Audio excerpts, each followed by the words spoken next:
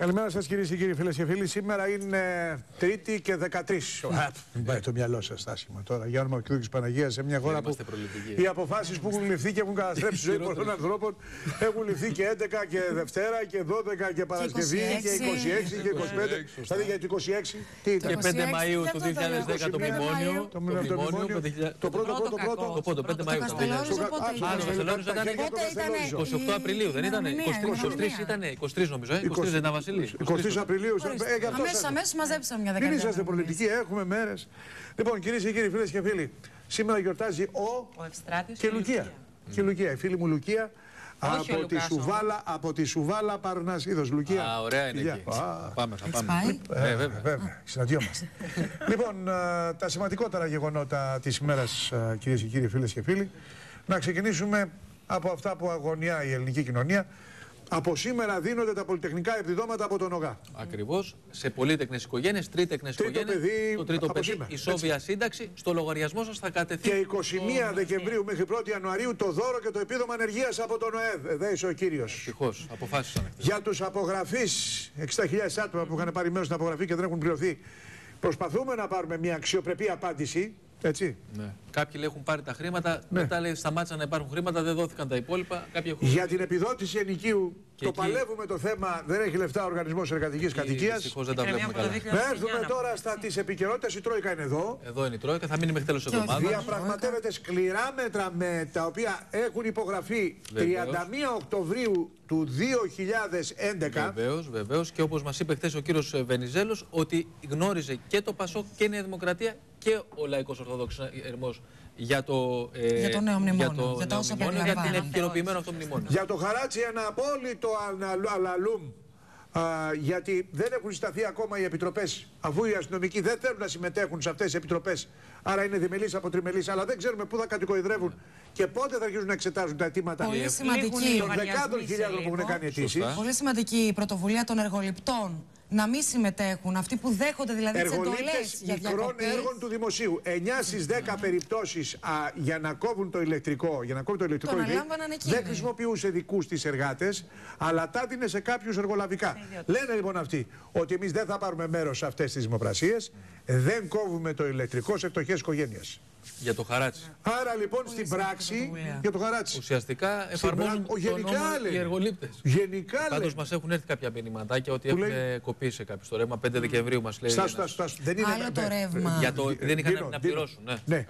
Άλλο το ρεύμα ναι. και άλλο το, να σου κόψει το, το 80 ήμερο για το χαράτσι δεν έχει εκπνεύσει. Ναι, όχι, αυτό δεν έχει εκπνεύσει. Αρχές Γενάρη. Αυτό που λένε αυτό είναι γιατί δεν πληρώσαν, δεν πληρώσαν το λογαριασμό. να πληρώσουν το λογαριασμό του ρεύματος. Και το λένε δεν υπάρχει το χαράτσι μέσα, το λένε και οι ίδιοι. Δεν ήταν λέει μέσα το χαράτσι, το λένε και οι ίδιοι. Άσχημη αλλά εντελώς διαφορετική ιστορία. Λοιπόν, ε, συζητάμε για τα σκληρά μέτρα, συζητάμε έχει ποιοι θα τα πάρουν αυτά τα μέτρα, ποιοι θα τα αποφασίσουν; Έντονη συζήτηση η οποία πότε θα γίνουν οι εκλογές, πότε θα γίνουν. Ενοχλημένος φαίνεται ο κύριος Παπαδήμος, ο οποίος κύριος Παπαδήμος λέει αυτή είναι ένα σκορποχώρη. Δεν ασχολούνται μετά του. Ναι, αφού ακούει και στελέχη ε, τη κυβέρνηση. Άλλο λέει να πάμε να τελειώνουμε, πάμε για εκλογές. Αρχιδικήρα Διαματοπούλου λέει όχι.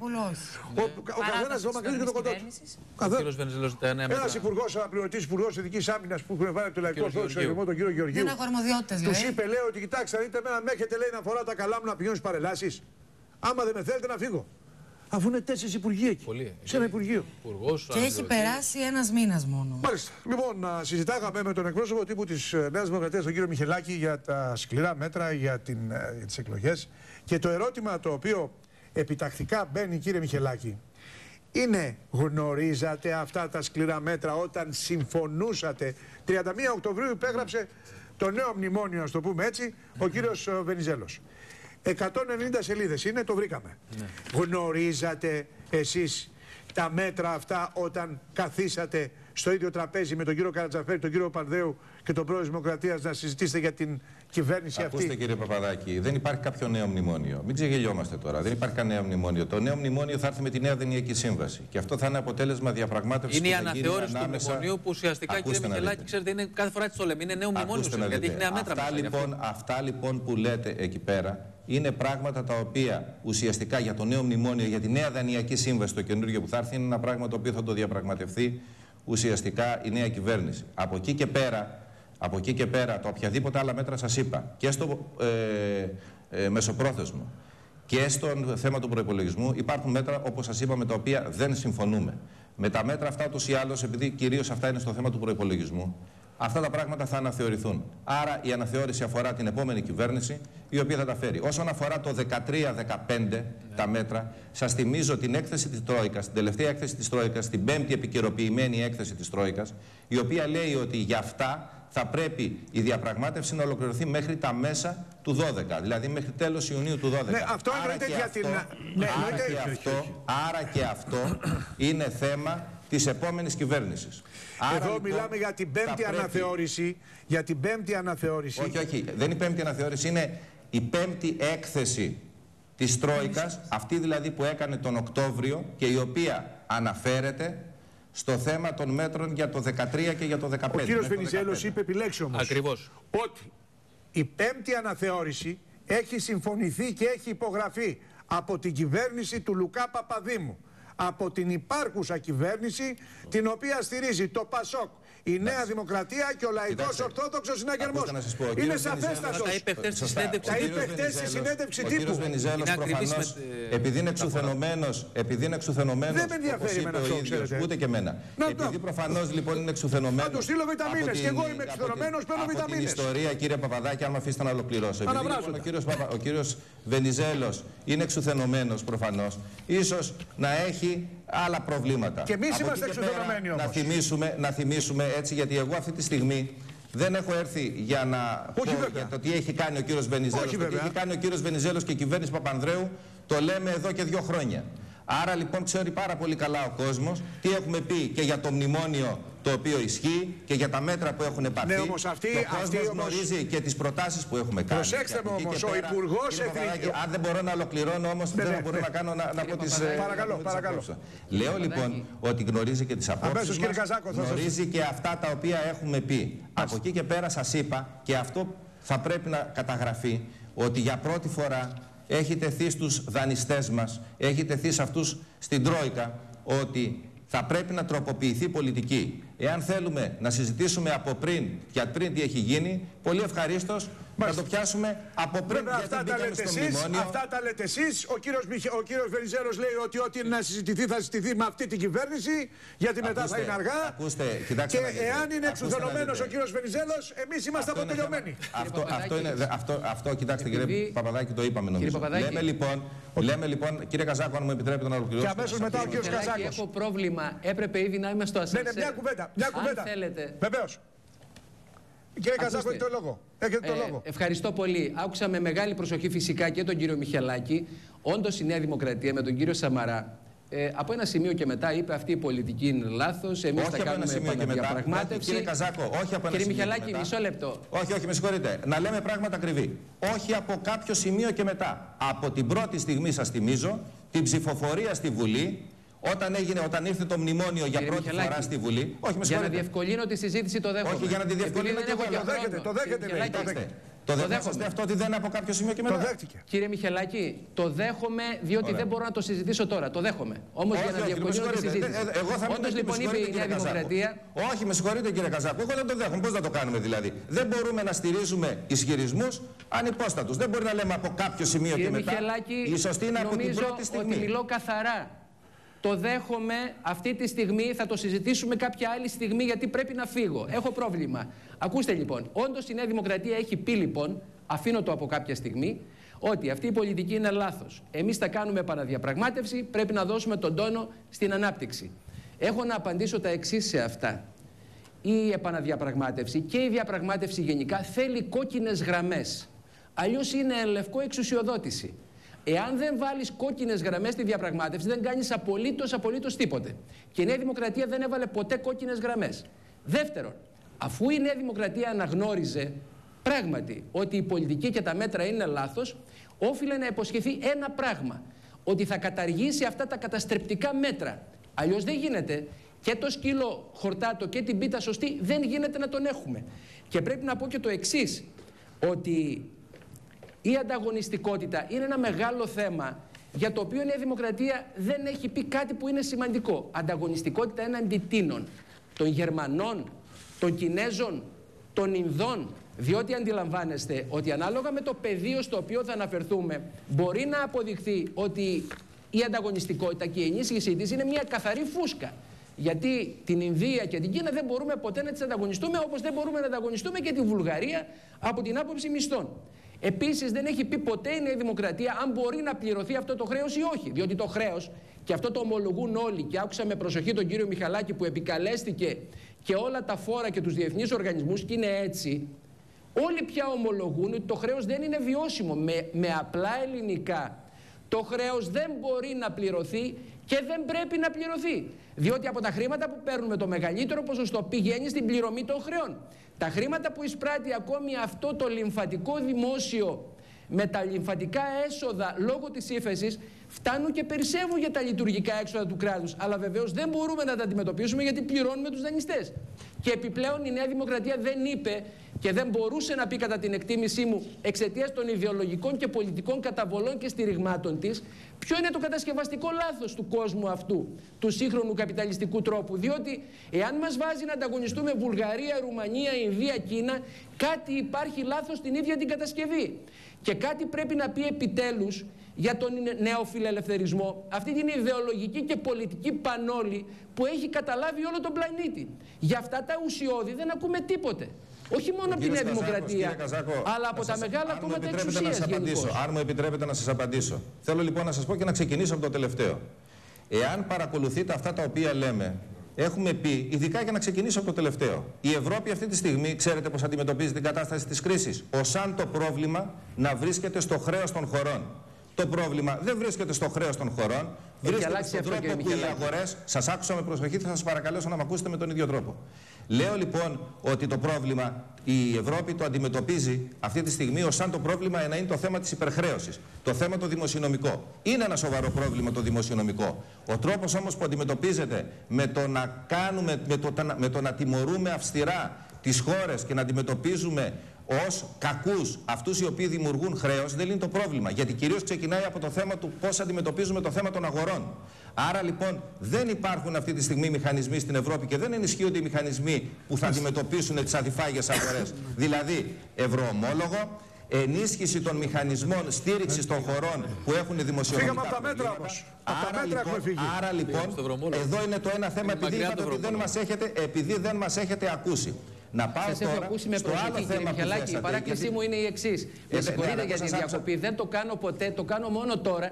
Γιατί πρέπει να φύγω. Η παράκλησή μου είναι να συνεχίσουμε τη ζήτηση αυτή κάποια άλλη στιγμή. Εγώ πρέπει να φύγω. Θα ευχαριστήσουμε πάρα πολύ τον κύριο Καζάκο που ήταν μαζί μας. Έχει μάθημα. Έχει μάθημα ο κύριος Καζάκο. Αν μου επιτρέπετε όμως κύριε Παπαδάκη. Βέβαια μην ξεχνάμε τα μέτρα, ξέρετε. Μην ξεχνάμε τα μέτρα. Και υπάρχει ένα θέμα κύριε Μιχαλάκη ουσίας. Ένα λεπτό κύριε Σκουρούτη. Επειδή είπε κάποια πράγματα ο κύριος Καζάκος για να μην μείνουν στον αέρα. Είπε δηλαδή πούμε, για παράδειγμα, για το θέμα της ανταγωνιστικότητας.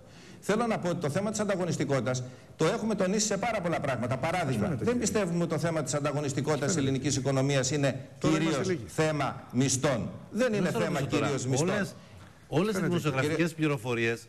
Κύριε Σκουρή, ναι, ναι, κύριε Σκουρή, αν δεν, κοιτάξτε, είπε ο κύριος Καζάκος κάποια πράγματα.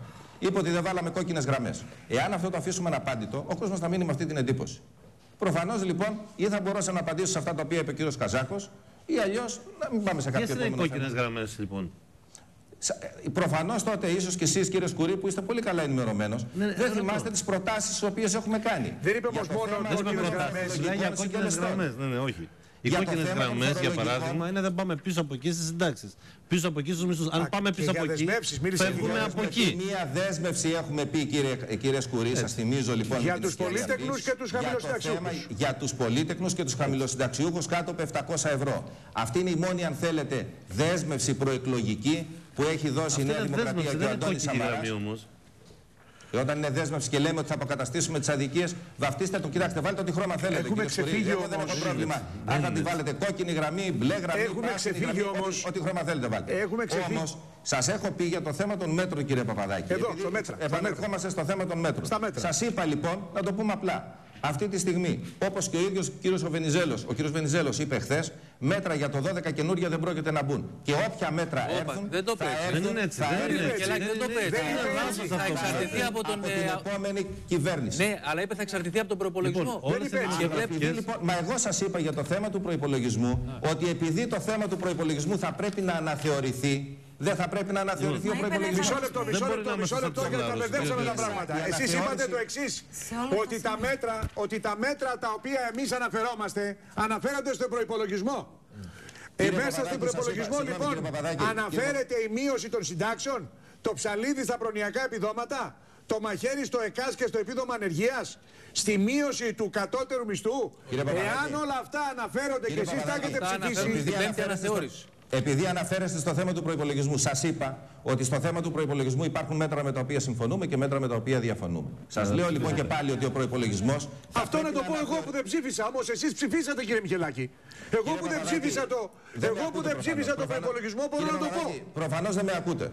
Ναι. Σας είπα λοιπόν και προηγουμένως θα το πω για πολλωστή φορά. Ναι. Υπάρχουν μέτρα που συμφωνούμε και μέτρα που δεν συμφωνούμε. Αυτό το πράγμα θα τα πρέπει να ψηφίσατε όμως σας είπα. Είναι με απλή διαδικασία στη Βουλή, κύριε Μιχελάκη. Το ξέρετε καλύτερα από μένα.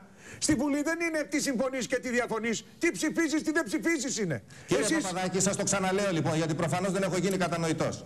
Μέτρα που υπάρχουν μέσα εκεί διαφωνούμε και συμφωνούμε. Τα έχουμε ψηφίσει διότι αυτό ήταν από τις προποθέσει για να πάρουμε την εκτιδόση. Εκτός αν θέλετε να μας πείτε να μην παίρναμε την εκτιδόση. Έτσι μας είπατε λοιπόν, και για το μνημόνιο, το οποίο πάω, λοιπόν, πάω λοιπόν παρακάτω. Επειδή λοιπόν αυτός ο προπολογισμό θα αναθεωρηθεί, διότι υπάρχουν νέα δεδομένα, καταρχήν ο προπολογισμό αυτός δεν βγαίνει. Άρα, δεν άρα θα χρειαστούν νέα μέτρα που δεν βγαίνει. Αυτό είναι. Άρα νέα μέτρα. Λοιπόν, άρα λοιπόν, επειδή υπάρχουν και τα αποτελέσματα του κουρέματος, το όφελος το οποίο θα υπάρχει από αυτή την ιστορία, θα πρέπει να δούμε τι όφελος υπάρχει, να δούμε ποια είναι τα νούμερα, ποια είναι η αριθμή. Για να δούμε τι νέα μέτρα θα πάρουμε. Για να δούμε τι θα γίνει. Δεν έχει μιλήσει και εσύ τόση ώρα, θα στο δύο να μιλήσει τόσο. Λίγο κάτι δεν θα ρωτήσει. Ε, εγώ πιστεύω ότι δεν πρέπει να τρώμε αμάσιτα κάποια πράγματα όπως οι γλάροι τρώνε τα ψάρια. Ε, είναι ο ρόλος της δημοσιογραφίας, ο κύριος Μιχαλάκης το ξέρει. Όλες οι δημοσιογραφικές πληροφορίες επιμένουν διασταυρωμένα και νομίζω θα το πει και η Τρόικα στα κόμματα με τα οποία θα συναντηθεί. Νομίζω θα συναντηθεί και με τη Νέα Δημοκρατία, με τον κύριο Σαμαρά.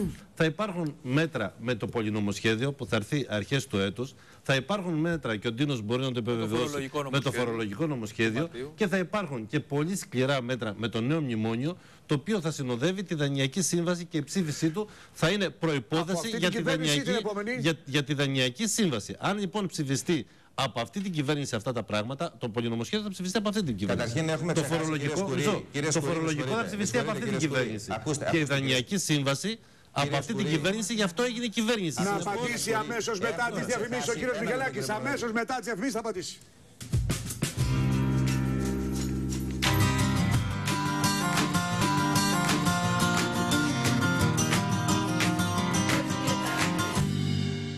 Λοιπόν, επιστροφή μετά τις διαφημίσεις, τις απαραίτητες διαφημίσεις στο στούντιο.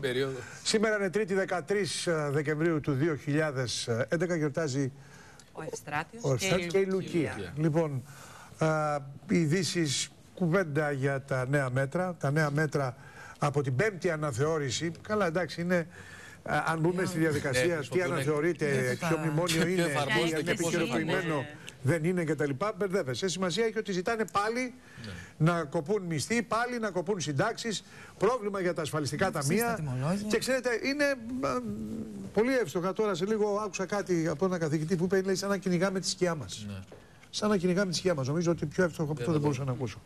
Λοιπόν, να, να πούμε δύο-τρει ειδήσεις που ενδιαφέρουν τον κόσμο. Χρηστικέ ειδήσεις. Να πούμε λοιπόν καταρχάς με τα προλητεχνικά επιδόματα που πληρώνονται μέσω του ΓΑ σήμερα στο λογαριασμό περίπου 420.000 οικογένειες. Είναι το, πολυτεχνικό επίδομα, το, το πολυτεχνικό επίδομα για την τρίτη τεχνική οικογένεια, το επίδομα για το τρίτο παιδί, η σόβια σύνταξη πολυτεχνικής οικογένειας. Όλα αυτά λοιπόν σήμερα στο λογαριασμό. Επίσης, έχουμε την επίσημη ανακοίνωση του ΑΕΔ για τους ανέργους. Από 21 Δεκεμβρίου μέχρι και 1η Ιανουαρίου θα έχει λέει πληρωθεί το δώρο και το επίδομα στους ανέργους. Αυτό βέβαια το ότι θα είναι μια, ένα οχταήμερο που θα μεσολαβήσει μέχρι να το πάρουν όλοι δεν είναι τόσο καλό.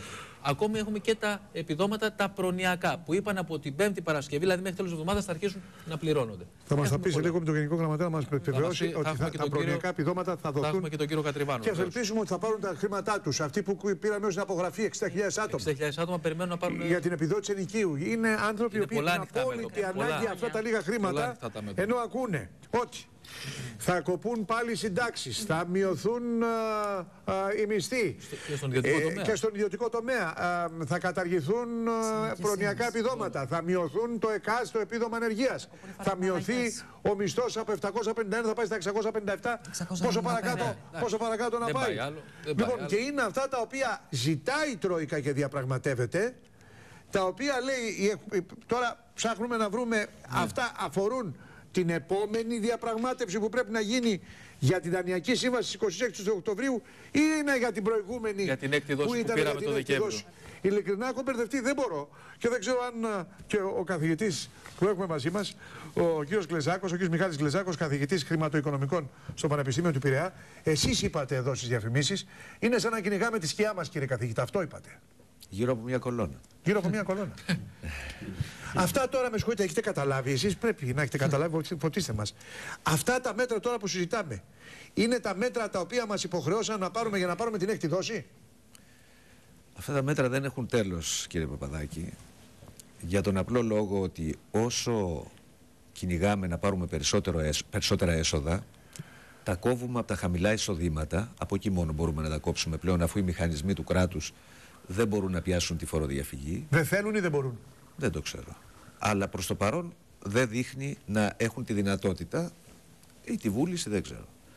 Ε, δεν μπορούν λοιπόν από την πλευρά των εσόδων να πιάσουν περισσότερα έσοδα μέσω της περιορισμού της φοροδιαφυγής. Δεν μπορούν από την πλευρά των δαπανών να περιορίσουν τη σπατάλη έστω ή τις δαπάνες εκείνες που δεν είναι αναγκαίες. Τι γίνεται λοιπόν σαν συνέπεια όλων αυτών των αδυναμιών; Αρμέγουν από Ξέρετε τους όμως- μισθωτούς και συνταξιούχους. Αρμέγοντα από τους μισθωτούς, δημιουργούν πρόβλημα στα ταμεία. Με αποτέλεσμα να δημιουργούνται προβλήματα στις συντάξεις. Και ενώ κάνουν εξ αρχής περικοπές σε μισθούς και συντάξεις, λόγω των περικοπών επιβάλλουν εισφορές για να καλύψουν τη χασούρα που έχουν λόγω των περικοπών. Αυτή είναι το κυνήγι της σκιάς. Δηλαδή αυτό το πράγμα προσπαθούσα να το εξηγήσω στα παιδιά μου και δεν το καταλάβαινα. Σηκώσαν τα χέρια. Ο Γιάννη μου είπε να σηκωθείτε να φύγετε όλοι όσοι είσαστε πάνω από 40. Λέω αγόρι μου, τι είναι αυτά που λες; γίνεται. Τι θα μείνετε στο τέλος. Μου; Λέει, Όχι, λέει, έχετε ευθύνη. Και έχει δίκιο το παιδί. Έχει δίκιο το παιδί. Λοιπόν, Μα ό- για να έχουν όταν δίκιο τα παιδιά κόβεις, είναι οι άνθρωποι. όταν κόβεις από τον χαμηλό μισθό, κόβεις από την αγορά. Γιατί Ναι, αυτός δεν έχει, δεν έχει περισσεύματα. Δεν τα βάζεις στην άκρη. Ό,τι παίρνει το ξοδεύει. Άρα κάθε ευρώ που κόβεις από τον άνθρωπο που έχει χαμηλό εισόδημα, το κόβεις από την αγορά. Και όπως είπατε, γίνεται ο φαύλος κύκλος. Και ξέρετε το κακό ποιο είναι. Ή το εκνευριστικό, το απολύτως εκνευριστικό. Ότι όλοι λένε ότι εκ των υστέρων ή εκ των προτέρων, και εκ των προτέρων το είχε πει η Νέα Δημοκρατία, όπως ακούσαμε τον κύριο Μιχελάκη, με τον οποίο θα ολοκληρώσουμε σε λίγο την κουβέντα μας. Εμείς λέει το είχαμε πει και διαφωνούσαμε. Μάλιστα.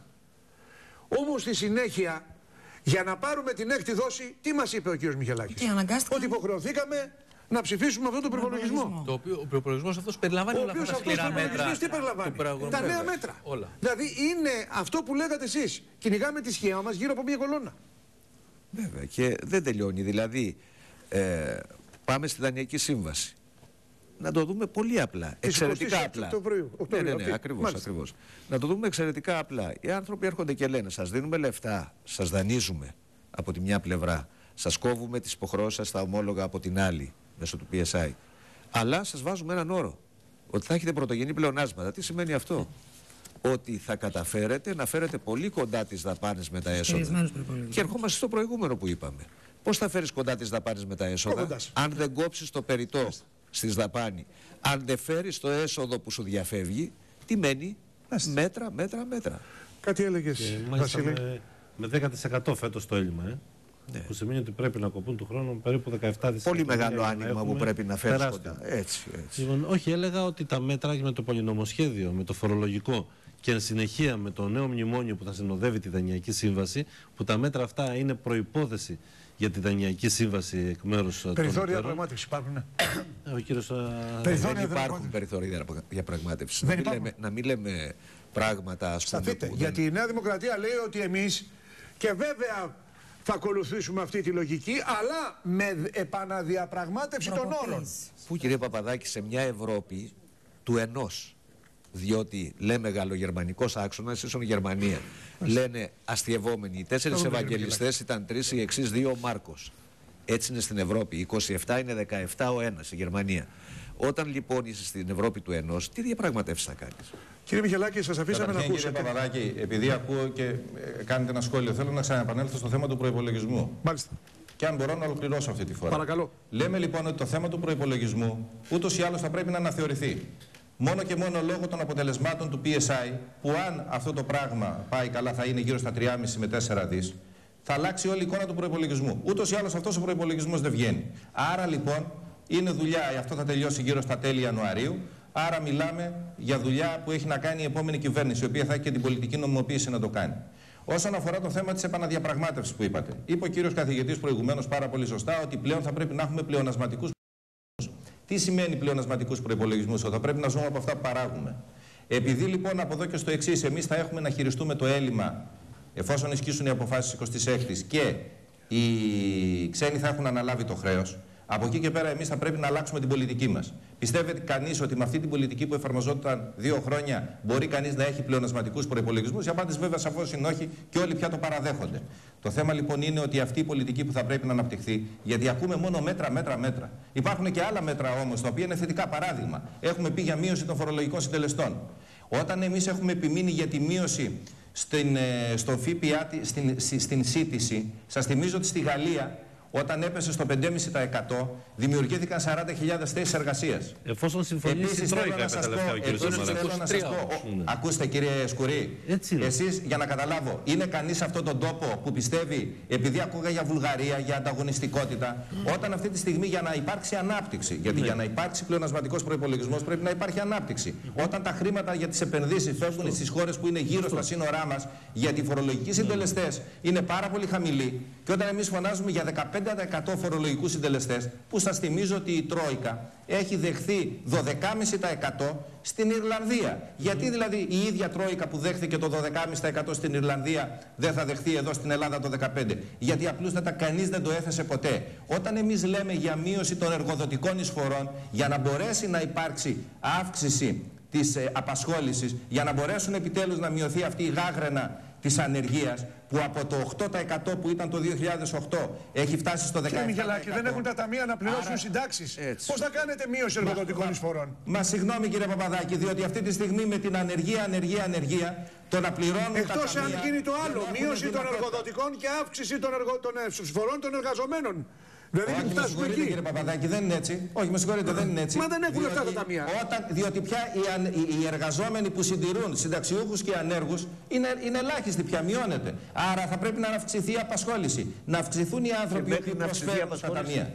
Λέω λοιπόν ότι μέχρι που να αυξηθεί ακριβώς θα πρέπει να υπάρχουν και άλλα μέτρα ανάπτυξης. Παράδειγμα, σας είπα, τη μείωση των εργοδοτικών εισφορών σας θυμίζω την έχει δεχθεί η Τρόικα και στην Ιρλανδία και στην Πορτογαλία. Και αναφέρεται Έχουμε και στο πει για επικοινωνημένο, μείωση- αναφέρεται στο Έχουν- μνημόνιο. Αλλά έχουμε αναφέρονται και τα πει- υπόλοιπα μέτρα που σας είπαμε όμως. Έχουμε πει λοιπόν, σας λέω κύριε Σιωμόπουλε, έχουμε πει λοιπόν για μέτρα και ακόμα δεν έχουμε κουβεντιάσει τη μείωση του σπάταλου κράτους. Σας θυμίζω ότι το χαράτσι έχει μπει διότι δεν εισπράχθηκε ποτέ ο φόρος μεγάλης ακίνητης περιουσίας. Δύο χρόνια τώρα δεν έχουν εισπράξει ούτε ένα ευρώ από το φόρο ακίνητης μεγάλης Δεν φταίει ακίνητης αυτός όμω που θα περιουσία. πληρώσει ο άνεργος τα 150 Φταίει, ευρώ λοιπόν, το χαράτσι. Δεν φταίει αυτός. Φταίει λοιπόν, φταίει λοιπόν κύριε Σιωμόπουλε και όλος ο μηχανισμός ο οποίος επί δύο Θα χρόνια. το πάρετε πίσω εσείς λοιπόν μόλις γίνετε κυβέρνηση. Το έχει πει ο Αντώνης Σαμαράς στην Διεθνή Για Έκθεση το χαράτσι, Θεσσαλονίκης για Αφής, το κύριε χαράτσι Παπαδάκη, της για το χαράτσι ΔΕΗ. σας λέω. Για το χαράτσι της ΔΕΗ. Σας, σα- σας απάντησα. Το έχει πει ο Αντώνης Σαμαράς στη Διεθνή Έκθεση Θεσσαλονίκης. πώς θα το πάρετε, αφού πρέπει η αντίστοιχη Σας λέω πόρη να λοιπόν, κύριε Σκουρή, ακούστε να Δεν δείτε. μίλησα Ο εγώ. κ. Γλεζάκο, ο καθηγητής Λέω- λέω πρέπει να Και βρεθούν όταν μιλάμε αντίστοιχοι όλοι πόροι. μαζί, δεν έχω τη δυνατότητα δυστυχώς να αντιλαμβάνομαι. Λέω λοιπόν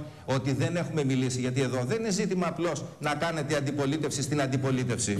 Το ζήτημα είναι ότι εδώ κάποια στιγμή σε αυτόν τον τόπο θα πρέπει να υποστηρίξουμε μέτρα τα οποία τα φωνάζουμε εδώ και τόσο καιρό. Ωραία ακούγονται Έχουμε αυτά. πει. Ωραία ακούγονται, αλλά ποτέ δεν τέθηκαν κύριε Παπαδάκη. Ωραία ακούγονται, αλλά τώρα σε αυτή τη φάση που συμμετέχετε, εγώ επανέρχομαι. Όπως συμμετέχετε σε αυτή την κυβέρνηση, Όχι κύριε Παπαδάκη, με συγχωρείτε. Συμμετέχουμε σε μια κυβέρνηση η οποία έχει μια συγκεκριμένη αποστολή να υλοποιήσει την 26η, να τελειώσει το θέμα του κουρέματος και να πάει ο τόπος εκλογές. Απλά πράγματα. Και Μα ξεκάθαρα. Αυτά, Το αυτά τι είναι λέει- συνδεδεμένα το τι- με τα μέτρα, κύριε Μητσοτάκη. αυτά είναι απολύτως συνδεδεμένα με τα Κύριε- μέτρα. Κύριε καθηγητά, σας είπα, Έτσι. αυτό είναι δουλειά της επόμενης κυβέρνησης που θα έχει Μα την πώς, πολιτική όταν, θα όταν λύσει τα κλειστά συμφωνείτε σε αυτή επαγγέλματα, για την... παράδειγμα. ε, Βεβαίως. Ναι, όταν συμφωνείτε σε αυτή τη δανειακή σύμβαση, προφανώς δέχεστε τα μέτρα. Δεν Την μπορούν, έχουμε- την δεν- έχουμε- δεν την μπορούν έχουμε να δει και την έχουμε- αποσυνδεθούν. Την έχουμε δει και την έχουμε διαπραγματευτεί, κύριε καθηγητά.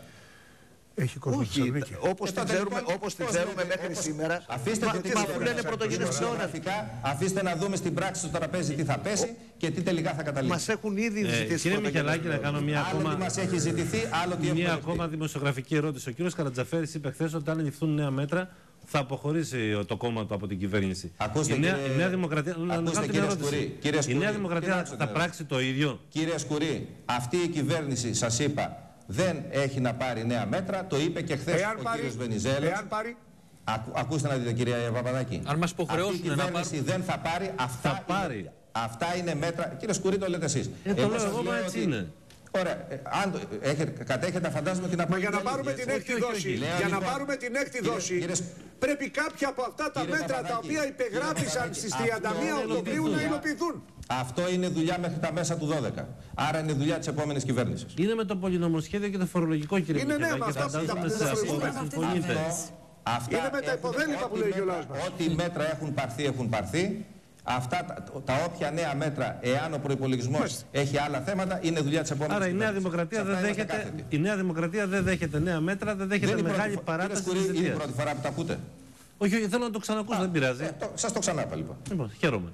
Ε, μπορώ να πω στον κύριο Μιχελάκη. Κύριε Μιχελάκη, εγώ δεν, Μια τελευταία ερώτηση στον κύριο Μιχελάκη, να το αποδεσμεύσουμε γιατί τον έχουμε και αρκετή ώρα. Ναι, δεν ευχαριστώ. έχω αμφιβολία για τις καλές προθέσεις και τη Νέα Δημοκρατία και όλων των Ελλήνων. Αλλά όταν λέμε να χαμηλώσουμε τους φορολογικούς συντελεστές, να χαμηλώσουμε τις εισφορές, αυτά θέλουν ένα διάστημα μεγάλο για να αποδώσουν. Τι γίνεται στο μεταξύ, όταν μάλιστα είναι τόσο δεσμευτική η όλη συμφωνία που έχουμε κάνει και η συνεργασία μας, ας την πούμε έτσι, με την ε, Χάλασε, την Τρόικα, χάλασε. ώστε δεν, μα- δεν μας αφήνει Έχω ούτε, ρωτήσει ούτε κάτι. ευρώ να αποκλίνουμε χωρίς να πάρουμε διορθωτικά μέτρα. Έχετε απόλυτο δίκιο κύριε καθηγητά και αυτό ήταν Πρέπει αν να θέλετε το φύγουμε. σημείο διαφωνίας μας με την Τρόικα.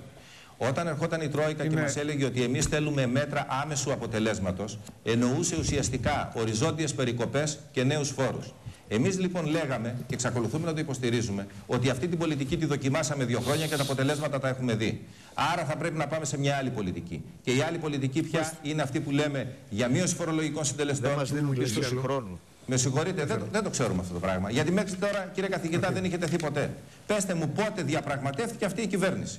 Άμα μου πείτε μία φορά που έβαλε στο τραπέζι ένα θέμα προς διαπραγμάτευση, θα σας πω μπράβο. Πέστε μου εσείς πότε διαπραγματεύτηκε Δεν το η κυβέρνηση. ξέρω και δεν είναι το θέμα Εδώ, θέματα που εδώ θα σας ασχολούμαι θυμίζω, εγώ. ε, αφού, αφού- ακούστε με να σας πω. Ε, αυτή η κυβέρνηση ποτέ τις διαδιαπραγματεύτηκε. Και δεν το λέμε μόνο εμείς. Πάρτε τις δηλώσεις των στελεχών, των βουλευτών της, στις κατά καιρούς ο κύριος Κουρής τις έχει παρακολουθήσει όλες, θα μπορέσει να σας πει με το ονοματεπώνυμο αυτά τα πράγματα, έτσι δεν είναι κύριε Σκουρή; Πάντως Και εδώ τις έχω λέτε, κα- και τις λέτε έχω ότι άλλα καταγράψει, μέτρα. κύριε Μισό λεπτό, Μιχαλάκη. κάποιο- μισό λεπτό γιατί ο κόσμο, να δούμε τι λέει και ο κόσμος. Ο κόσμος ακούει για μέτρα, Ακριβώς. ε, βλέπει μέτρα τα οποία έρχονται. Λέει ότι δεν μπορεί έτσι. να πληρώσει άλλα. Δεν έχει να Ο- πληρώσει. Δεν αντέχει να πληρώσει Δεν άλλα. έχει. Έχει ακούσει αρκετές υποσχέσεις. Μακάρι πολλές από αυτές Αλλά να συνέχεια υλοποιηθούν. Αυτά είναι τα υποσχέσεις δεν τελευταία. είναι. Μέχρι στιγμής είναι δικαιολογημένα υποψιασμένος και δεν πιστεύει κανέναν. βέβαια. Γιατί άκουγε ότι μέτρα είναι τα τελευταία. Κάθε φορά είναι τα έχουμε τελευταία. μέτρα. Δεν θα είναι τα υπάρξουν άλλα τελευταία. μέτρα, Και μας κάθε φορά ερχόντουσαν καινούργια μέτρα. Έχει κολομπερδευτεί με το τι είναι το επικαιροποιημένο, τι είναι το Αναθεωρημένος. μεσονομοσχέδιο, τι είναι το πολυνομοσχέδιο, τι είναι η επικαιροποίηση. Τα έχει μπερδευτεί, δεν ξέρει τι του Και τα γίνεται. καταλαβαίνεις στο τέλος. Κανένας δεν του εξηγεί τι είναι αυτά που θα υποστεί. Δηλαδή αυτά το οποίο υπέγραψε ο κύριος Βενιζέλος 31 Οκτωβρίου, τι αφορούν. Τα μέτρα τα οποία έχει δεσμευτεί για την Διανοιακή Σύμβαση της 26 Οκτωβρίου, όχι, γιατί Για την έκ- έπεται. όχι, για την είναι έκτη για την δόση έκτη δόση που πήραμε τώρα. Την οποία ήδη πήραμε, άρα αυτά πρέπει να υλοποιηθούν. άρα πρέπει να έχουμε και άλλες μειώσεις σε μισθούς και συντάξεις. φαίνεται. Αυτό είναι το μεγάλο ερώτημα που απασχολεί την ελληνική κοινωνία. Μακάρι κύριε Μιχελάκη, εγώ εύχομαι, να καταφέρετε αυτά τα οποία λέτε να τα υλοποιήσετε. Και ξέρετε γιατί το λέμε. Το λέμε γιατί το πολιτικό σύστημα είναι υπερχρεωμένο. Πολλές δηλώσεις έχουν γίνει οι οποίες έχουν αναιρεθεί. Θα μου πείτε, δεν είμαστε εμείς κυβέρνηση τα τελευταία δύο χρόνια. Είσαστε τα προηγούμενα πριν από τα δύο. Και τότε δεν είχαμε ακούσει τίποτα για χρέη, για δεσμεύσεις. Θέλουμε να σας ευχαριστήσουμε και ελπίζουμε Και εγώ ευχαριστώ για τη α, φιλοξενία. ο Να είστε καινούριο καλά. χρόνος να είναι ένας καλύτερος χρόνος για όλους μας. Λοιπόν, Να είστε καλά. Α, επιστρέφουμε εδώ α, στο στούντιο. Α, σε λίγο θα πάμε να δούμε τον πρόεδρο του Λαϊκού Ορθόδοξου Συναγερμού για τα ερωτήματα τα οποία έχει θέσει και έχουν τεθεί. Γιατί πράγματι ο κ. Καρατζαφέρης είπε ότι αν ληφθούν άλλα μέτρα Θα φύγει από την κυβέρνηση. θα φύγει από την κυβέρνηση. Όπως επίσης ο κ. Καρατζαφέρης ε, έχει πει και κάτι άλλο. Ότι αυτή η κυβέρνηση όντως έχει ένα συγκεκριμένο σκοπό, Αν χρειαστεί να, παρατηθ, να παραταθεί η θητεία της, ας παραταθεί, αλλά όχι με αυτή τη σύνθεση. Και πρέπει να αλλάξει και χαρακτήρα. Πρέπει να γίνει μια νέα συμφωνία για τα μέτρα, λέει ο κύριος Καρατζάκη. Άρα υπάρχουν ερωτήματα τα οποία θα θέσουμε. Να πάμε να δούμε τον πρόεδρο του Λαϊκού Ορθόδοξου Συναγερμού. Α, καλημέρα σας, καλημέρα σας, κύριε Πρόεδρε. καλημέρα στην παρέα σου. Τι κάνετε; Δόξα τω Θεώ. Έχουν τεθεί, έχουν, έχουν τεθεί ε, ήδη πάρα, πάρα πολλά ερωτήματα. Θα ήθελα να σας πω, αυτά τα μέτρα τα γνωρίζατε κύριε Πρόεδρε. Τα μέτρα τα οποία υπεγράψαν 31 Οκτωβρίου είναι κάποια μέτρα, μάλιστα δεν είναι ένα και δύο, είναι 190 σελίδες. Ναι. Και που ήταν η προϋπόθεση για να πάρουμε την έκτη δόση. Την έκτη δόση την πήραμε και αυτά τώρα κάποια στιγμή θα πρέπει να εφαρμοστούν. Θα εφαρμοστούν με την παρούσα κυβέρνηση. Με την κυβέρνηση που θα προκύψει από τις εκλογές. Βέβαια, ε, αυτά τα υπέγραψε ο κύριος ε, Βενιζέλος ε, μονομερός. Δεν ήταν ε, η κυβέρνηση αυτή που είναι σήμερα στα πράγματα. Και κάτω από έναν πανικό ο οποίος υπήρχε, ένα διάχυτο πανικό, καθυστερούσε ήδη η δόση τότε 1,5 μήνα και καθυστέρησε και 1,5 μήνα μετά. Ε, περιμένω να δω την Τρόικα, να δω τις διαθέσεις και βεβαίως να τους εξηγήσω και ορισμένα πράγματα. Ότι η πολιτική αυτή ε, της συνεχούς και αδιαλείπτου λιτότητας δεν έχει προοπτική. Και πάση περιπτώσει να διερευνήσω, εάν μπορώ να διερευνήσω, ε, τι θέλουν να πετύχουν τελικά. Ανάρρωση της οικονομίας ή ας πούμε επιμήκυση του χρόνου ε, ζωής ενός ε, καρκινοπαθούς ε, ε, κόμματος, ε, κόμ, ε, Ελλάδας, πατρίδας, ε, χώρας, ε, μέλους Ευρωπαϊκής Ένωσης. Δεν ξέρω Άρα τι αυτό θέλουν που να λέτε είναι πετύχουν. σοβαρό κύριε Πρόεδρε. Και ακούγεται πολύ σοβαρά και ξεκάθαρα για πρώτη φορά από εσάς. Λέτε ότι θέλω να ξεκαθαρίσει α, α, η κατάσταση αυτή τη στιγμή. Δηλαδή, έχουμε μια κυβέρνηση η οποία τι θέλει να καταφέρει. Να παρατείνει τη ζωή της με το 80% να είναι στελέχη από το Πασόκ. Γιατί αυτή τη στιγμή έχουμε 37 από... Γιώργο, αυτό είναι άλλο θέμα. Και μπαίνει το θέμα αυτό, αν θέλετε, μετά την παρέμβαση την οποία έκανε ο Κώστας Στεφανόπουλος, ο πρώην πρόεδρος της Δημοκρατίας, ο οποίος λέει για επιμήκυση του χρόνου μέχρι λήξη. Και η κυρία Διαματοπούλου, αρχίζουν και το λένε και στελέχη του Πασόκ. Αλλά εάν αυτό γίνει, πρέπει να αλλάξει η δομή αυτής της κυβέρνησης. Και αν θέλουν οι εταίροι να αλλάξει η δομή αυτή της κυβέρνησης και να γίνει πράγματι η κυβέρνηση εθνικής συνεργασίας από μεταβατική κυβέρνηση όπως διατυμπανίζεται. Εσείς θέλετε, κύριε Οπότε Πρόεδρε. λοιπόν η σύνθεση δεν θα είναι αυτή. Είσαστε Δεν μπορεί υπέρ να αυτής έχουμε- της δεν μπορεί να άποψης. έχουμε- Δεν μπορούμε να έχουμε 50 υπουργούς. Ε, οι υπουργοί πρέπει να είναι όσοι περίπου της Ιταλίας για να υπάρξει ένα ευέλικτο σχήμα. Και από την άλλη Τώρα, πλευρά θα- πρέπει να δούμε Συγγνώμη, ποιους συγγνώμη, χειρισμού περίμενε, θα περίμενε, κάνουμε περίμενε. μέσα στο ασφικτικό πλαίσιο που επιβάλλει η Ευρωπαϊκή Ένωση. Ποια Ευρωπαϊκή Ένωση, αυτή η οποία τη- λέει ευθέως Βρετανία, σήκω και φύγε, δεν σε χρειάζομαι. Την κρεατεά Βρετανία και όχι τη φτωχή Ελλάδα. Πρέπει να δούμε σε αυτό το πλαίσιο τι κάνουμε. Συνεχίζουμε να κολυμπάμε ή σταματάμε εκεί που είμαστε και βουλιάζουμε. Είναι, είναι πολύ απλά τα πράγματα, αλλά ταυτοχρόνως και δυσκύλια. Α, α, άρα λοιπόν ε, συμμετέχετε σε μια κυβέρνηση όπου είναι θολά τα πράγματα. Είναι τελείως θολά τα πράγματα αυτή τη στιγμή. Ναι, θολά νομίζω τα κάνουν τα πράγματα όχι εμείς μόνο, ε, με μια ε, αδυναμία πλήρους συνεργασία, πλήρους συνεργασία, υπάρχει μια σχετική συνεργασία. Ε, αυτή η θολούρα έρχεται από την Ευρώπη, η οποία δεν ξέρει πού να πάει. Ε, έρχεται η Ευρώπη και λέει 25 Μαρτίου, ε, κόβω επιτόκια, δίνω λεφτά. Το ακυρώνεις στην 21 Ιουλίου. Λέει μεσοπρόθεσμο, ψηφίζουν όλα τα κοινοβούλια της Ευρώπης. Ξεφτιλίζονται οι βουλευτές. Έρχεται 26 Οκτωβρίου και ακυρώνει την 21η Ιουλίου. Έρχεται η 9η Δεκεμβρίου και ακυρώνει σε πολύ μεγάλο μέτρο την 26η Οκτωβρίου. Άρα λοιπόν, σε ένα ευρύτερο πλαίσιο, σε ένα περιβάλλον που δεν ξέρεις πού πατάει, είναι πολύ δύσκολο να πάρεις και εσύ αποφάσεις. Όμως, κοιτάξτε, μπορεί να ακυρώνει μία συμφωνία την άλλη, χωρίς να ακυρώνονται τα μέτρα τα οποία έχει δεσμευτεί αυτή η χώρα να πάρει. Γιώργο, τα μέτρα αυτά δυστυχώς και να πούμε κάποιες αλήθειες. Γιατί ξέρεις, σε μια ώρα κρίσεως περισσεύει ε, ο λαϊκισμός που είναι εύκολο να τον κάνεις και μάλιστα αν θέλεις τον έχω χρησιμοποιήσει και εγώ πάρα πολλές φορές στο παρελθόν κατά την προσπάθειά μου ανελήξεω του κόμματος. Εδώ είναι μια πραγματικότητα. Έχεις έσοδα και έξοδα. Έχεις ένα μαγαζί.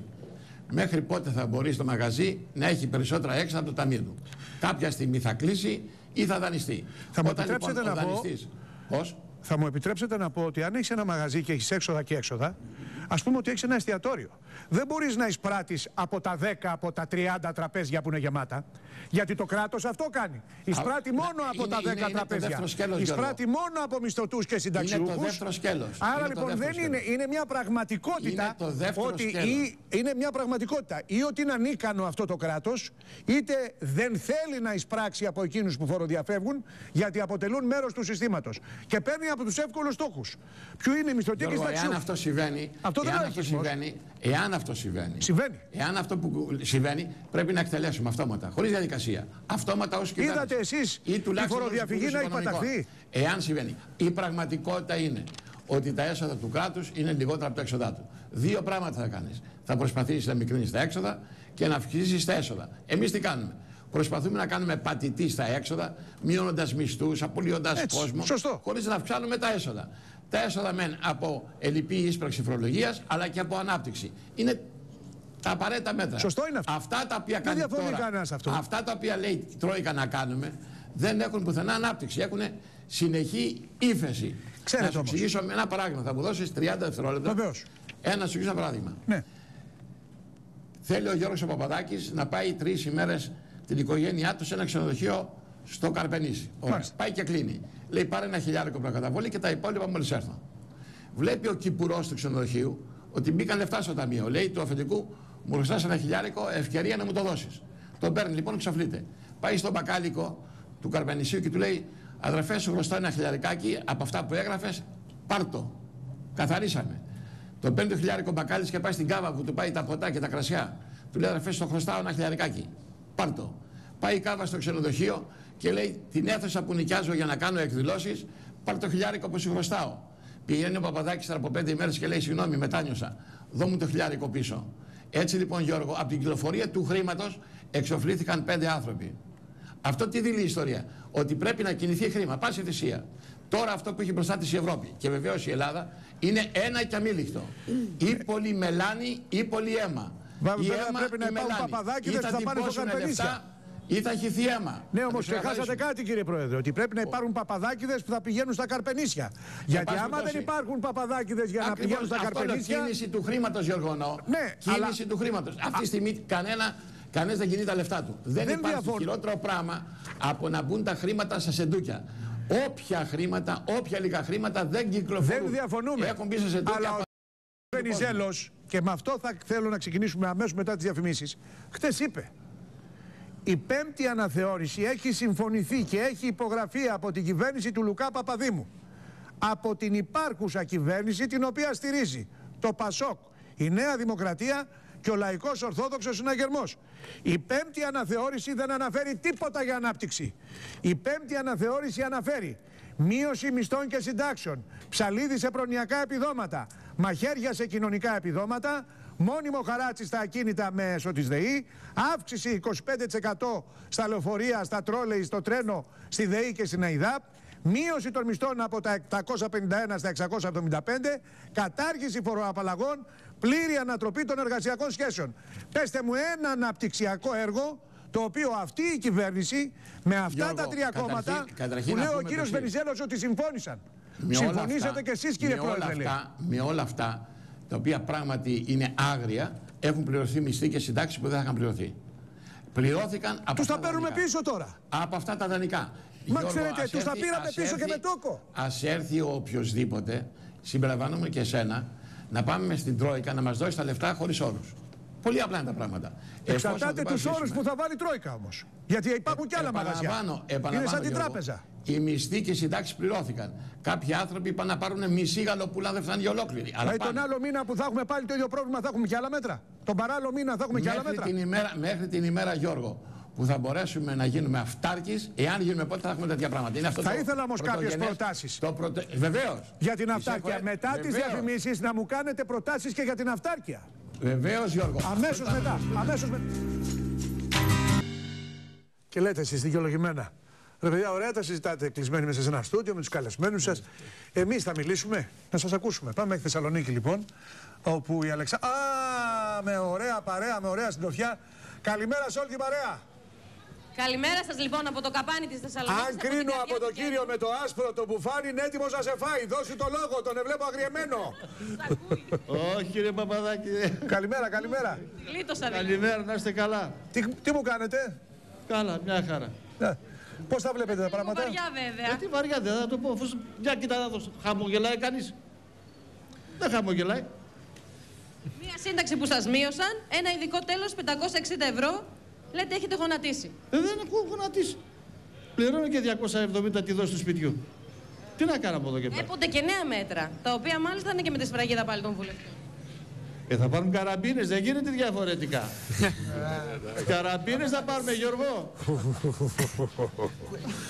Τα νέα μέτρα Αλλιώς δεν δεν λέω τι γίνεται. μέτρα είναι. Πάντως εμένα με λόγος και ξαπλώσανε στους και με κυρίους, α. μετρήσανε. Αγανάκτηση περισσότερο, εμείς αντιμετωπίζουμε εδώ. Αφήστε το Ο, κατάλογο. το κύριο Παπαδάκης είναι. Κύριε Την Παπαδάκη, άποψή σας θέλω. Καλημέρα, συγχαρητήρια καλημέρα. για την εκπομπή σου. Πάντα σε ακούμε Να και σε έμενες καλά. εσύ μονάχα, κλείσαν και τον αυτιά για λόγους που είναι ευνόητοι. λοιπόν, ένα πράγμα. Η κατάσταση είναι δραματική. Εκείνο που θέλω όποια κυβέρνηση και αν βγει, να- αυτούς οι οποίοι είναι οι πρωτέτοι, οι δυο-τρεις ποιοι είναι, να καθίσουν στο σκαμνί και να λογοδοτήσουν για αυτά που έχουν κάνει για τον ελληνικό λαό. Αυτοί οι άνθρωποι οι οποίοι πρόδισαν την Ελλάδα. Τίποτα άλλο δεν έχω να πω. Ευχαριστώ πολύ που με ακούσατε. Να είστε καλά. ακούσατε. Να είστε καλά, Ευχαριστώ να είστε πολύ. καλά, φίλε μου. Να είστε καλά, να Η είστε δική καλά. Σας θέση. Και άλλα μέτρα περιμένουμε. Τα άλλα μέτρα δεν, δεν θα έχουν φάμε στο τέλος. Εγώ παίρνω 650 σύνταξη και δου- δούλεψα 63 χρόνια. 53 χρόνια έχω δουλέψει και δεν, μα- δεν, μα- δεν μας στάνουν τα χρήματα. Αν είχατε απέναντί σας τους βουλευτές που υπογράφουν και για τα νέα Για, μέτρα. γευτίσιμο, γευτίσιμο θα τα, γευτίσιμο όλοι. Όλοι γευτίσιμο. Εσύ, σας είπα κάτι, σας έβλεπα, κοιτάτε. Κορίτσι μου, τα βλέπουμε και παρηγοριόμαστε, αλλά δεν μπορούμε να τα αγοράσουμε. Άλλο τι να σας πούμε. Όλα μας τα πήρανε. Και τώρα Τι ζώα είναι; Αφού ξεχάσαμε τι ζώα είναι; Τα βλέπετε; Ναι, όμως τα βλέπουμε, εντάξει. Αλλά πού κοντά κοντά. Δεν φτάνουν Και τα... νέα μέτρα περιμένουνε. Νέα μέτρα. Αυτοί θέλουν μια βασταγαριά και να τους μετρήσεις στα κόκαλα. Αυτό θέλουν. μια βασταγαριά. Ξέρεις τι είναι βασταγαριά; Εκκλησία με Κατάλαβα. μπράβο. Έκανα το συνειδητό. Και να τους μετρήσεις στα κόκαλα. Αυτό θέλουμε. Τι είναι βασταγαριά; 100 βουλευτέ να είναι 100 και είναι 300. Να παραιτηθούν οι περισσότεροι, Η λέτε. οικονομία να κάνει από τις πρώτες και μετά μας. από το εξωτερικό και μα θα μας το φάνε. Να πάνε στο διάλογο. Μόνιμο λένε το ειδικό τέλος.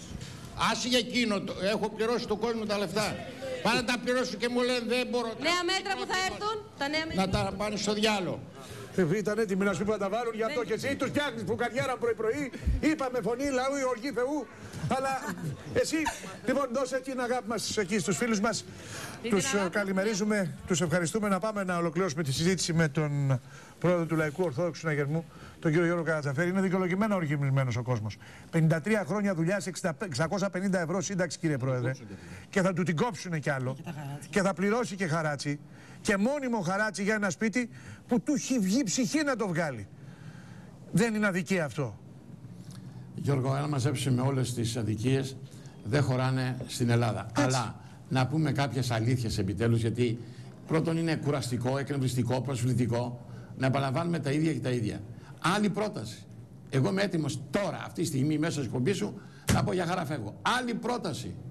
Ο κάθε ένας ο οποίος δημιουργεί εντυπώσεις να καταθέσει την πρότασή του. Αυτή είναι η πρόταση.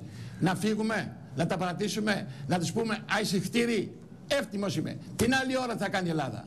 Θα το πει κανείς επιτέλους αυτό. Ξέρετε κάτι, Αφού κύριε- τα καραγκιοζηλίκια της αριστεράς και τα λοιπά. Ποια είναι η πρόταση; Έχετε Αυτή δίκιο. η πρόταση είναι καλύτερη. Όταν εγώ Γιώργο προχθές είχα να ξεκαθαρίσουμε στους κυρίους, αυτοί που φτύνουν εύκολα, που καταδιώνται εύκολα κτλ. Εγώ είχα εκεί την υποχρέωση. Ναι ή όχι να πάρει σύνταξη και δώρο. Ναι ή όχι. Και απεφάσισα ναι να πάρει. Και θα με φτύσει εμένα οποιοδήποτε κύριος, επειδή δεν καταλαβαίνει την πραγματικότητα. Ότι εξεφτύλισαν την Ελλάδα αυτοί που κυβέρνησαν. Όχι εγώ Γιώργο. Δεν είναι σήμερα το σύμπτωμα. Το σύμπτωμα είναι 37 χρόνια οι μονοκομματικές κυβερνήσεις που φέραν τα πράγματα εδώ. Και θα ήταν και χειρότερα. Εγώ λέω λοιπόν, αύριο το πρωί φεύγουμε. Και φεύγει και ο Σαμαράς. Τι θα γίνει, ποια είναι η πρόταση; Ξέρετε- Ποια είναι η πρόταση, να ακούσω την πρόταση; Να φύγουμε από τη δραχμή; Καταλαβαίνει ο άλλος τι σημαίνει; Δεν Εάν είπα ότι- φύγουμε λοιπόν από το ευρώ και πάμε στη δραχμή, Γιώργο, να ξέρεις, πρώτον, θα έχεις ρεύμα 2-3 ώρες την ημέρα. Οι μισθοί θα πάνε πολύ κάτω. Λοιπόν, γιατί λέμε την αλήθεια, ότι από καθόλου έχουμε τουλάχιστον αυτή τη στιγμή μισό πιάτο φαΐ, αλλά το έχουμε διάολε. Κύριε Πρόεδρε. Σημαίνει θα κόστος τεράστιο. Αχ, Γιώργο, μισό λεπτό, γιατί είναι πόνος ψυχής. Το βλέπω κι εγώ κάθε μέρα. Ξέρεις τι αγωνία κάνω εγώ στο δικό μου το κανάλι, να μην απολύσω ούτε έναν και να μην κάνω μείωση ούτε ένα ευρώ. Μου βγαίνει το μάτι κάθε μέρα και η ψυχή. Το και καταλαβαίνω. κλαίω κάθε μέρα.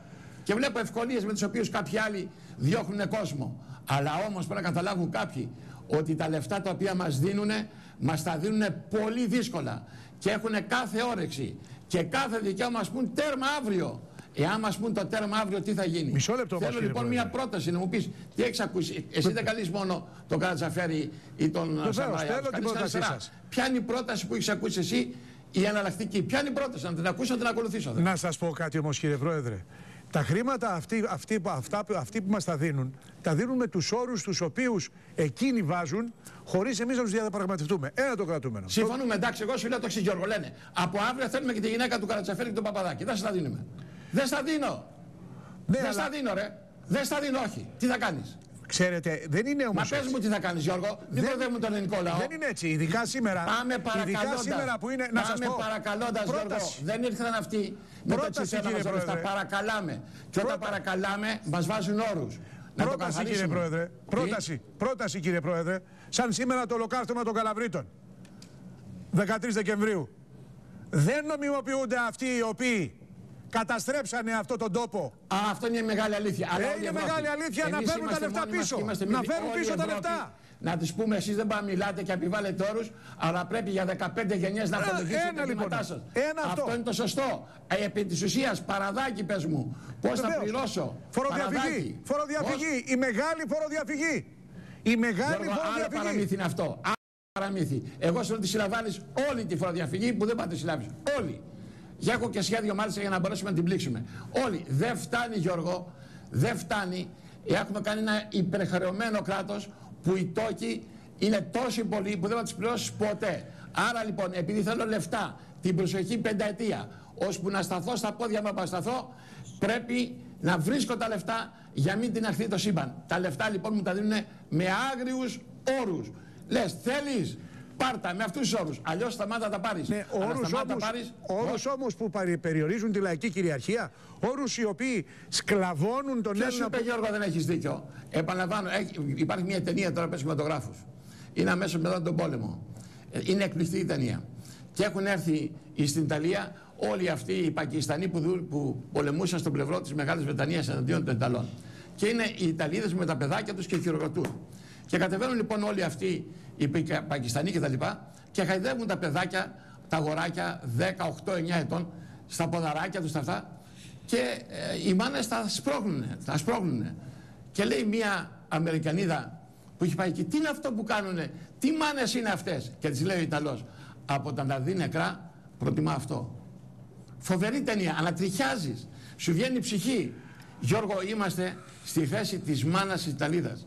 Αυτό να καταλάβεις, δεν κάνουμε τίποτα ευχάριστο. Δεν πεθαίνω από τη χαρά μου εγώ όταν συναντάω το Σαμαρά και λέω τι ωραία που μπήκαν κι άλλοι δυνατοί φόροι, τι ωραία που μειώστε ο μισθός. Λέμε ένα πράγμα, απολότελα καλά και αυτά τα λίγα. Αυτό, να το λέμε. λέγαμε αν δεν βάζαμε τον κόσμο όμως στη διαδικασία να κυνηγάει τη σκιά του, όπως είπε προηγουμένως και ο κύριος καθηγητής. Ξέρετε γιατί; Γιατί από τη Πρόταση μία από τον κύριο λέμε. καθηγητή. Πρόταση από τον κύριο καθηγητή. Πρόταση. Τι άλλη ανακτική λύση έχω; Εγώ ακούω, Γιώργο, το ξέρεις πάρα πολύ καλά, στα 40 χρόνια που λεζόμαστε. Να ακούσω μια άλλη πρόταση, να πιστώ και να την ακολουθήσω. Και να πω αύριο στην Τρόικα που θα τη συναντήσω, για χαρά δεν γουστάρω. Πρόταση όμως. Πώς θα εξασφαλίσω φαΐ στο γέρο, πώς θα εξασφαλίσει το γάλα στο παιδί. Πρόταση. Δεν μπορεί δυστυχώς η Ελλάδα ενεκλωβίστη τόσο βαθιά από Πασό και Νέα Δημοκρατία τα 37 χρόνια, που δυστυχώς με κεφαλαία γράμματα δεν έχουμε δυνατότητες Μα οι ίδιοι όμως, να ξέρετε κάτι, αν είναι έτσι όπως το λέτε, οι ίδιοι που δημιούργησαν το πρόβλημα συμμετέχουν μαζί σας σε μια κυβέρνηση. Μαζί σας σε μια κυβέρνηση τώρα, η οποία μάλιστα η δική σας συμμετοχή είναι, έχει τυπικό χαρακτήρα. Άκουγα δηλαδή τον κύριο Γεωργίου να λέει για παράδειγμα στο αναπληρωτής Υπουργός Εθνικής Άμυνας ότι λέει, ήταν με τον κύριο Αβραμόπουλο και τους υπόλοιπους τέσσερις υπουργούς και γύρισε και τους είπε: Με συγχωρείτε πάρα πολύ. Εγώ τι κάνω εδώ, με έχετε για τις γιορτές και για τις παρελάσεις; Δεν μου έχετε δώσει αρμοδιότητα. Δηλαδή συμμετέχετε σε μια Σαφώς κυβέρνηση. και υπάρχουν κενά. Έτσι. Και υπάρχουν κενά από ευόλυμε λύσεις που ήθελε το Πασόκ πάντα να κάνει. Δεν είχε να κάνει το ραγκούι, τον έβαλε εκεί πάνω και μπλέχτηκαν στο Υπουργείο. Θα βρουν λύση και θα βρουν δρόμο. Όμως, μου είπες για προτάσεις πριν. Για πες του μια Υπάρχει ένα πρόταση. θέμα. Δέκα χρόνια θα σας πω εγώ. Ποια θα πες σας μου. πω, Γιώργο. Ναι. Άκου πρόταση. Τα λιμάνια όλης της Ελλάδος, εκτός από τα μεγάλα που είναι ανώνυμες εταιρείες, μέχρι τώρα τα έχει το λιμενικό ταμείο. Συζήτησα λοιπόν με τον Άδωνη και του λέω Άδωνη, εδώ αυτό το πράγμα είναι μια δουλειά που κολλάει, ε, κουβαλάει πολλά χρόνια η Ελλάδα. Δώσε τα λιμάνια στους Δήμους. Δώσε το λιμάνι της ε, Κορίνθου στην Κόρινθο. Στο Δήμο. Να αξιοποιήσει ο Δήμος να βγάλει λεφτά να κινηθεί όλη η περιφέρεια, όλη η Κορινθία. Δώσε στη Ζάκυνθο, δώσε στην Ιεράπετρα, δώσε σε όλα τα νησιά. Είναι 60 λιμάνια τα οποία σήμερα δεν τα χρησιμοποιεί. Δεν τα έχει πάρει τα Τρόικα δουλεύει αυτά. και δεν αποδίδει ο Δήμος, αλλά το λιμενικό ταμείο. Αυτά δεν τα έχουμε Αυτή- βάλει ενέχειρο στην Τρόικα. Όχι, δεν έχουν πάει στην Τρόικα. Και λέω λοιπόν. Γιατί εγώ ξέρω δώστα ότι τα έχω τώρα- βάλει ενέχειρο στην Όχι, Τρόικα, Γιώργο, γιατί είναι άμα α- δεν δώσουμε τη δόση, μα πάρει τα λιμάνια. Όχι αυτά τα λιμάνια, Γιώργο, είναι τα 12 σου λέω που είναι ανώνυμε εταιρείες. Αυτά τα λιμάνια λοιπόν που θα δώσουν ζωή στην περιφέρεια, σε όλα. Και σου λέω εδώ μπροστά μου έχω πίνακα. Ναπάκτο, Αφιλοχίας, Λεωνιδίου, Κεφαλαιονιά, Κορίνθου, Λο- Λουτράκη, ε, Ιεράπετρα, Άγιος Νικόλαος, Ιτία, Λευκάδα, Καλαμάτα, Πύλος, Πράγα, Πρέβεζα, όλη η Ελλάδα, Χανιά. Θα δώσει ζωή. Αυτό λοιπόν το έχουν 10 χρόνια σε ένα σιρτάρι και πάει και έρχεται. Αυτό λοιπόν είναι κάτι που λύνουμε εμείς. Εμείς μπήκαμε σε αυτή την κυβέρνηση, Γιώργο, για να λύσουμε χρονίζοντα θέματα. Όλοι οι υπουργοί. Αν Και αυτό ληφθούν, κάνουμε. άλλα, α- αν ληφθούν άλλα μέτρα, ζητηθούν τώρα αύριο να πάρουν άλλα μέτρα, τι θα κάνετε, θα μείνετε ή θα φύγετε σε αυτή την κυβέρνηση; Γιώργο, ξέρεις, θα ήθελα πολλά να σου πω. Και πάντοτε βγαίνω σε λέω πράγματα. Αλλά όταν έχω μπροστά μου συνάντηση με την Τρόικα, εγώ θα ανοίξω τώρα τα χαρτιά μου. Θα τους καθίσω κάτω και θα συζητήσουμε και θα πω. Και την Παρασκευή που είναι η συνάντηση, θα ξέρει ο ελληνικό λαός. Ένας δικό λαός που με εμπιστεύεται, που μου έδωσε δυνατότητα να πετύχω κάτι που δεν πέτυχε κανένας άλλος ποτέ. Να σπάσω τον δικοματισμό, να μπω σφίνα ανάμεσα. Αυτός ο κόσμος με εμπιστεύει και θα δει την απάντησή μου την Παρασκευή. Αλλά δεν θα ανοίξω τα χαρτιά μου τώρα στην Τρόικα. Έχω μια σειρά θεμάτων τα οποία βάζω. Όπως τη μείωση του ΦΠΑ ή στα νησιά. Δεν μπορεί να έχει το νησί, δεν μπορεί να έχει η Αμοργός το ίδιο ΦΠΑ που έχει η Αθήνα. Πρέπει να τονώσω την περιφέρεια. Άκου να σου πω τρελά πράγματα. Από την Κρήτη, ένα καφάσι, Γιώργο, ένα καφάσι από την Κρήτη πατάτες, όταν το βάλεις σκέτο το καφάσι μέσα στο φεριμπότ, έχει 6,5% ΦΠΑ. Εάν το πάρει το φορτηγό, ο ΦΠΑ είναι ο μεγάλος. Δηλαδή, αν κατεβάσεις το καφάσι και το αφήσεις κάτω στο καράβι, 6,5. Όχι, 6,5 να έχει. Για να πέσει η τιμή, να υπάρξει η αγορά, να υπάρξει δυνατότητα να προφήσουμε. Είναι μια σειρά πραγμάτων. Κύριε Αυτά Πρόεδρε. λοιπόν θα τα συζητήσω. Αυτά και άλλα πολλά. Αλλά δεν θα σου πω τώρα, επαναλαμβάνω, αυτά που θα σου πω την Παρασκευή. Και να είσαι σίγουρος ότι εγώ δεν είμαι και πολύ εύκολος παίκτης. Εν αναμονή εξελίξεων λοιπόν. Σας ευχαριστούμε για την παρουσία σας στην εκπομπή μας, κύριε Πρόεδρε. Να είστε καλά, για χαρά. Ακούστηκαν πολλά, κύριε καθηγητά. Μαριάννα, α, καλέ μου. Βασίλης, Βασίλη. ωραίος, ποιος Ήθελα να παρέμβει κιόλας. Δεν έχουμε δυστυχώς πολύ χρόνο στη διάθεσή μας. Μια κουβέντα, κύριε καθηγητά, μισή κουβέντα μόνο. Δυστυχώς είμαστε εγκλωβισμένοι σε ένα φαύλο κύκλο όπου θα βλέπουμε καινούργια μέτρα Ω. και η μόνη ελπίδα είναι το κράτος να λειτουργήσει επιτέλους, να περιορίσει τη φοροδιαφυγή. Ας λέει ο κ. Καρατζαφέρης ότι δεν είναι η λύση, δεν είναι μόνη της η λύση, αλλά συμβάλλει στη λύση ο περιορισμός της φοροδιαφυγής και ο περιορισμός των δαπανών του κράτους για να φύγουν από τους ώμους του ιδιωτικού τομέα και να μπορέσει να αναπνεύσει. Μάλιστα. Να το ξέρουμε πάντως ότι δεν βγαίνουμε εύκολα από αυτή τη δουλειά αν μόνοι μας δεν ανασυγκροτηθούμε. Μισή κουβέντα για να δώσω την τελευταία κουβέντα. Συμφωνώ με τον κύριο καθηγητή να μιλήσει η Μαριάννα που δεν μίλησα πολύ. Όχι, όχι, δεν θέλω να μου- δεν θέλω να μου σπάσετε το σερί σήμερα. Μια κουβέντα μόνο, Μαριάννα, μια κουβέντα μόνο. Εγώ πιστεύω ότι έτσι όπως έχουν γίνει τα πράγματα, αν δεν υπάρξει μια πραγματική διακομματική όμως συζήτηση για το τι πρέπει να αλλάξει το ελληνικό κράτος συνολικά, ό,τι και να προσπαθεί να κάνει κάποιος αποσπασματικά δεν θα πετύχει τίποτα. Είναι, είναι αδύνατον δηλαδή να βγούμε από αυτή την κρίση με, με επιμέρους προτάσεις και μόνοι, μόνο τους κάποιος να πει ότι εγώ θα τα αλλάξω. Δεν θα μπορέσει να τα αλλάξει. Υπάρχει μια καλή πρόταση από ένα τηλεθεατή. Έχει βρει άλλους 299 εθελοντές. Ο φίλος ο οποίος επικοινωνήσει μαζί μας. Ο οποίος είναι μισθοσυντήρητος με 700 ευρώ το μήνα. Το Οι 299 συνταξιούχοι, κάπου με πάει. οι συνταξιούχοι των 600 και των 700 και 500 ευρώ. Αυτοί λοιπόν οι 300 δέχονται να φιλοξενήσουν από ένα βουλευτή τις ημέρες των Χριστουγέννων στο σπίτι τους. Υπόσχονται ότι θα τους αφήσουν να φύγουν μετά τις γιορτές. Καλημέρα Ελλάδα.